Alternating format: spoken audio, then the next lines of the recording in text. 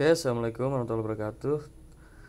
Eh, berikut ini eh, cara instalasi atau perakitan ya dari alat sugar arrestor ini atau anti petir ya, anti lonjakan atau penahan lonjakan daripada yang disebabkan oleh petir ya. Biasanya itu lonjakannya luar biasa itu bisa kilo volt ya.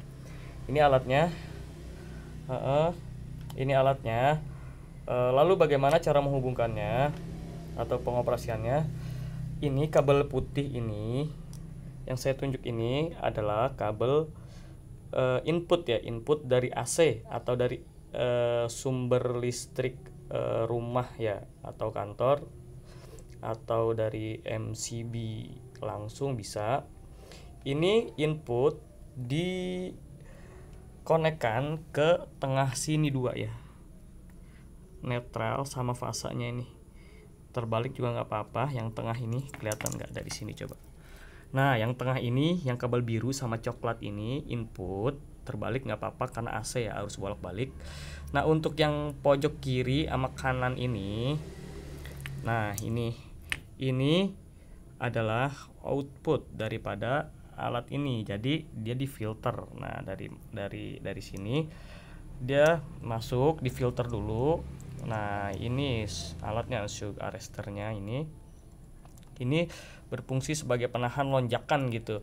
Lebih bagus lagi sih ada groundnya di sini di tengah. Harusnya ada ground ini di tengah ya karena saya nggak pakai ground. Lebih bagus lagi ground. Nanti kalau ada ground itu dia apabila ada lonjakan tinggi berkilo-kilo volt gitu ya, voltasenya tinggi itu dia keluar keluar uh, membuang akan membuang ke grounding nah apabila rumahnya ada grounding ini ini uh, akan kebuang ke tanah atau grounding gitu.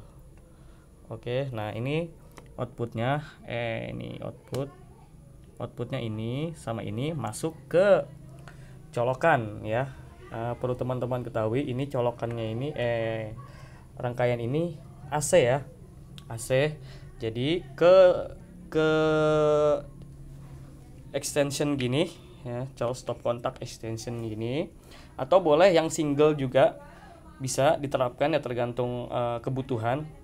Uh, ini masuk ke sini atau ini kan buat LED ya indikator nggak masalah. Ini bisa langsung ke sini aja. Bisa langsung sini. Uh, nah ini outputnya. Ini output yang tadi. Udah di sini. Kita bisa pakaikan uh, perangkat kita. Nah, insya Allah aman. Di sini kita pakai uh, adaptor atau apa ini bisa uh, untuk server cocok untuk server atau cocok juga di klien apalagi gitu karena biasanya lonjakan listrik itu lonjakan listrik itu datangnya dari uh, grounding rumahnya jelek gitu ya biasanya kalau sistem estafet itu biasanya kalau sistem estafet itu eh, biasanya ngambil power dari klien ya. Ngambil power dari klien. Nah kebetulan memang eh, jelek instalasi listriknya lalu nggak ada grounding. Ada lonjakan det langsung eh, koslet gitu ya langsung mati alatnya gitu. Begitupun alat yang di tiang gitu. Biasanya itu eh, apa namanya berdampak juga ya pada mati gitu. Apalagi kalau sistem paralel ya, LAN juga ke tiang kedua tiang ketiga wah itu mati semua. Nah ini solusinya. Jadi cocok diterapkan di e, beberapa klien yang memang ditumpangi power. Nah itu sangat aman e, sangat aman sekali gitu. Apalagi di server gitu. Saya juga udah e, menganalisa udah ngetes gitu. Sangat berguna sekali untuk listrik lonjakan yang sangat tinggi ini alat ini aman gitu. Oke demikian. Mungkin tutorialnya seperti ini. Nah coba ya kita tes. Kita tes dulu.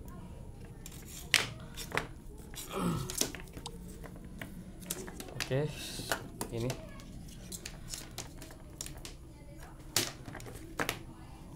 Oke kita colok dulu sini. Hmm. Oke, baik. Kita lihat indikatornya hidup enggak. kalau kita co- kita hidupkan MCB nya on.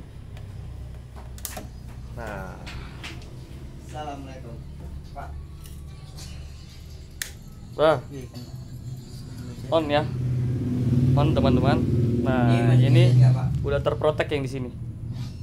Yang di sini udah terprotek eh, sudah ter sudah terfilter juga oleh ini alat ini. Insya Allah aman teman-teman. Oke cukup gitu aja. Assalamualaikum warahmatullahi wabarakatuh